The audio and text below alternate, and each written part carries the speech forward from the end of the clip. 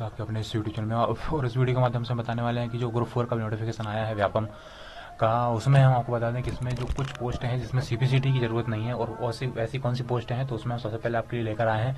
वो है आपकी प्रयोगशाला सहायक। प्रयोगशाला सहायक में आपको मात्र जी हाँ दोस्तों मात्र उसमें आपको केवल विज्ञान विषय के साथ आपको हायर सेकेंडरी मतलब बारहवीं पास चाहिए आपको विज्ञान विषय के साथ, आप इसमें अप्लाई कर सकते हैं। टोटल चालीस पोस्ट हैं। आपको बता दें, हम इसमें केवल और केवल बारहवीं पास मंगा है विज्ञान विषय के साथ। ऐसे ही एक पोस्ट और है, जिसके बारे में आपको बता रहे हैं। और वो पोस्ट है आपकी असिस्टेंट रेवेन्यू इंस्पेक्टर की। जी हाँ दोस्तों असिस्टेंट रेवेन्यू इंस्पेक्टर यानी कि आपके लिए जो पोस्ट है, वो है आपकी सहायक राजस्व निरीक्षक।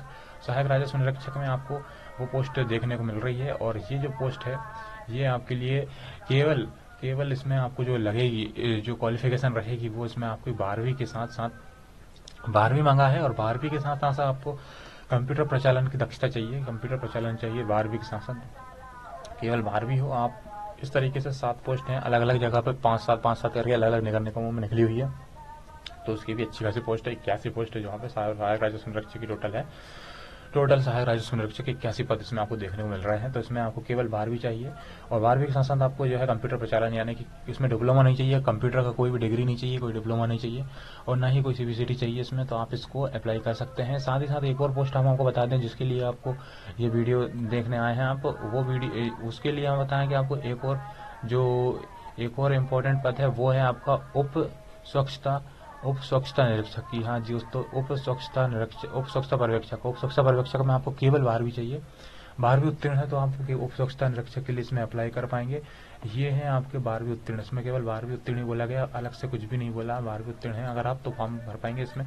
इसमें भी अलग अलग नगर निगम में दो चार पाँच, सात ऐसे करके निकली हुई है अलग अलग तो उसकी टोटल भी पोस्ट भी हम आपको बता देंगे कितनी है।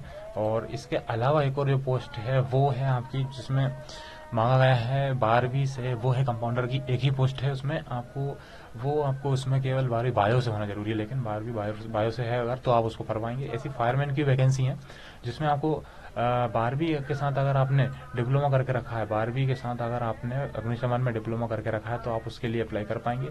ये भी नगर निगम, नगर पालिका के अंतर्गत ही निकली हुई है और ग्रुप फोर में ही है जो वैकेंसी है।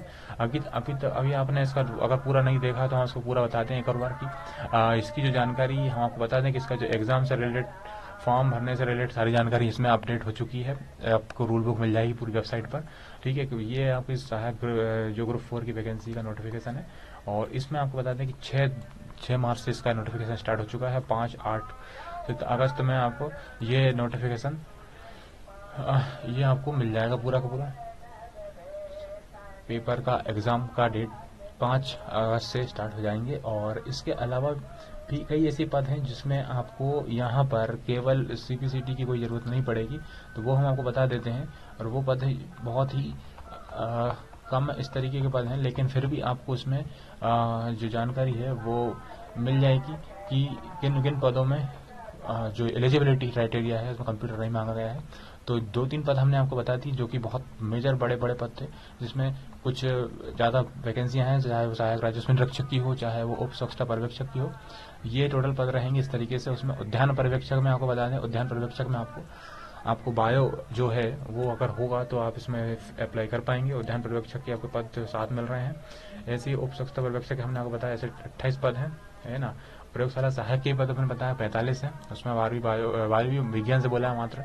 और इसमें कंपाउंडर में एक पद है, ये बायो से है, बारहवीं, ठीक है? और इसके बाद ग्रंथपाल में, ग्रंथपाल का डिग्री डिप्लोमा चलेगा, ठीक है? और इसके बाद हमने आप बता दूँ मैं इसमें आपको कि कौन सा जो नहीं है, जिसमें नहीं मांगा गया है आपका सी सी या डिप्लोमा कंप्यूटर तो वो सहायक राज्य संरक्षक कैसी पद। तो इस तरीके से टोटल ये पद हैं, इस तरीके से विवरण है, आप ज़रूर इस फॉर्म को ज़रूर भरें और यह वीडियो कैसा लगा ज़रूर बताएँ। Thanks for watching this video